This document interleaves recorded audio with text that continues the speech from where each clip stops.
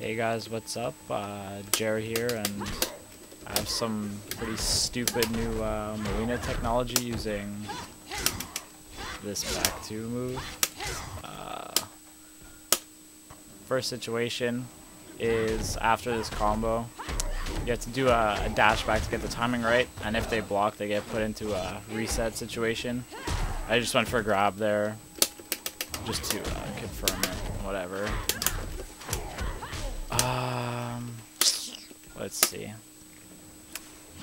Second one is if you do the same thing, um, and you just backdash and they don't block it, they'll take 29% damage just from the initial combo, but the back two doesn't act as a combo and just uh, does an extra 9% damage. I'll just play it one more time.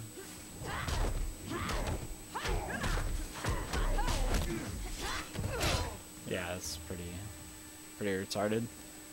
Um, this third situation is pretty much the the exact same thing, except um, if they if they decide to tech it, they still take the damage, but they do get away, which is I mean it's okay, but regardless, it's still a free 38%.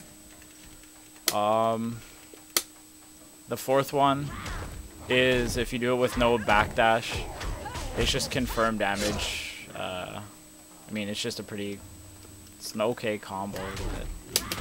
Uh, I mean, who in reality is just gonna sit there and take it?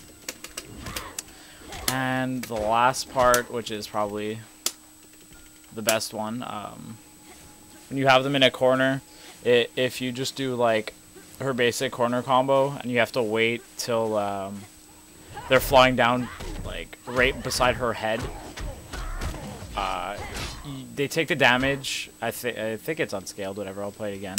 But um, and you put them back in the corner, and everything else from the part before that applies. So I mean, if they block, you can do something or put them back in the same situation. So. Yeah. Uh, I mean, if you have any questions about this video, just like ask. I don't mind answering questions. Don't even ask how I came up with this. Just playing this game. I don't know. Cool. Thanks for watching.